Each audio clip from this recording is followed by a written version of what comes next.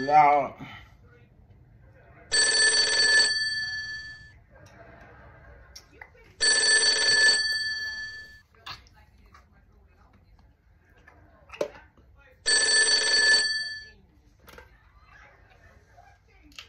Hello?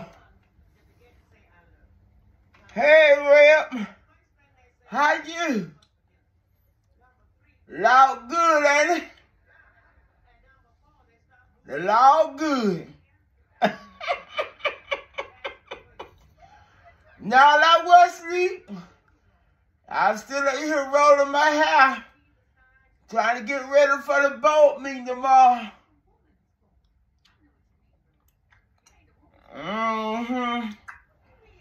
I had tried to catch you before you went out there to preach. First lady say you was already gone.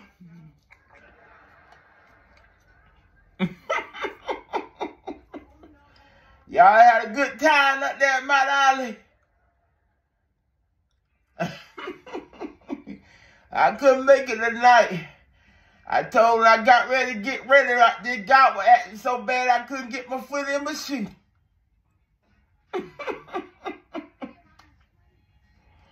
mm-hmm. Well, I was counting before we get to the boat meeting tomorrow. I want to have a deep discussion about that girl in that in that morning for another week. Uh-huh. Now she told her that she gave the money to her. And turned around told me she gave, gave the money to me. Or whichever way it go. Either way it go, real, I ain't seen no money. Uh-uh. And I was telling...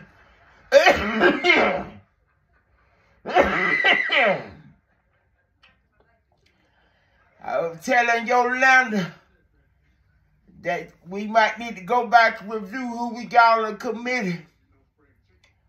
Because I checked the book, and I ain't seen no donation yet. I told her we'll hurry up and get that money in the church, you know. We're going we gonna have to be back outside every church. Because it's going to rain like it. Might as well be out there. The rain to get it anyway. Mm-hmm. Now you know I ain't wanna I ain't wanna step on no toes. I ain't I ain't gonna tell you, you know, how to run your church, you know, but we need to review that.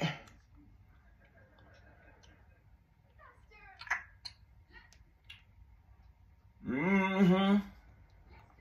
I understand. I, that's why I was telling, why I was telling Yolanda. We can't just have anybody over the money. You know, that money came down there with Miss Larry time. And you know, she came down there when they put on the committee. It made like she was highly recommended.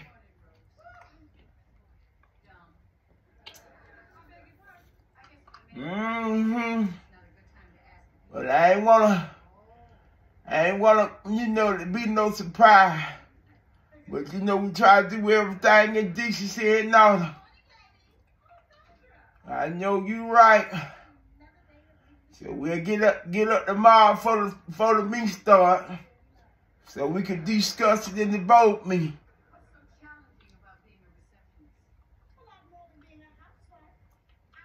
Mm-hmm. All right, bro, Pastor. That's all I, I had to call and try to catch cater for, you know.